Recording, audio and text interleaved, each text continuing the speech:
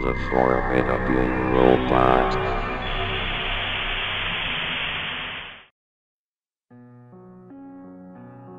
I don't listen to the radio anymore. I have a very legitimate reason why.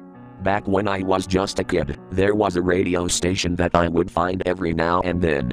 It wasn't just a typical radio station with music and people talking about news. This radio station was different. It was weirder than any radio station I ever heard. The type of things they would play were strange.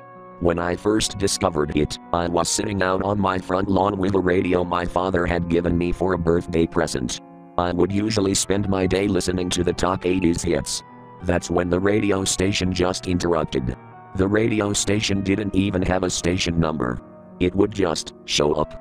For a long minute, it was nothing but the sound of static. I just assumed I lost the signal for a second, as that was nothing out of the ordinary. Then, I could faintly hear the sound of people laughing. Well, I can honestly describe it as a mix of joyous laughter and fearsome screams. This went on for five minutes before I became disturbed. As I ran to take the radio to my mother, the sounds were gone, and my radio was back to its normal station. The first time kept me up for a few nights, but it didn't frighten me too much. I didn't hear from that radio station for a few years after that, but it eventually came back. It only seemed to show up when no one else was around. Sometimes, the radio would play laughs and screams. Sometimes, it would play music. This wasn't some top 80s hits type of music. This music was terrible. Actually, it mostly sounded like a bunch of random instruments being played at once. There was no tempo, no harmony, or rhythm whatsoever. If it wasn't playing that, it would actually play an actual song. The problem is, it only played one song, and it was the same song over and over. The song was Come With Me Now by Kongos. To this day, I don't know why it always played that song in particular. I can distinctly remember a time where the radio played the sound of a man screaming, with the sound of what I will only assume were bones snapping. As years went by, the radio station came around more and more frequently. Each time, the noises would get louder and more horrible.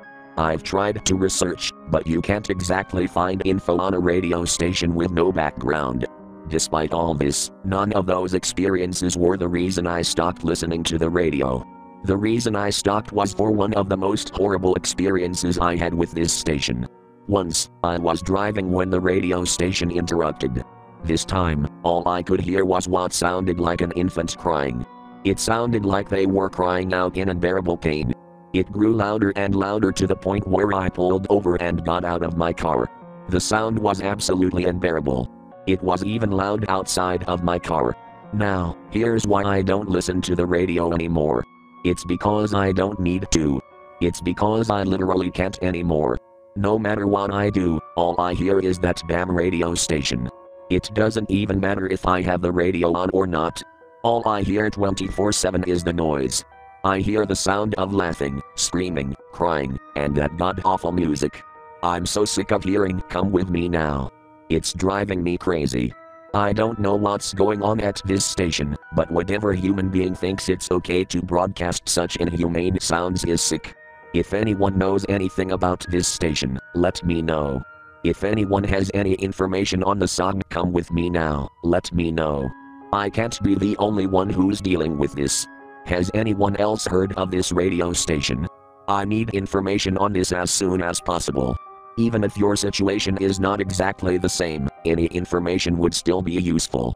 I'm not crazy. Whoever or whatever is behind this radio station needs to be stopped. Whatever this radio station, it's something that could probably change the world. This station isn't a station, it's a curse. I'll keep in touch. Tell me if anyone knows anything about this station. I don't know how much longer I can take it. The lyrics are getting stuck in my head. Come with me. I'm gonna take you down.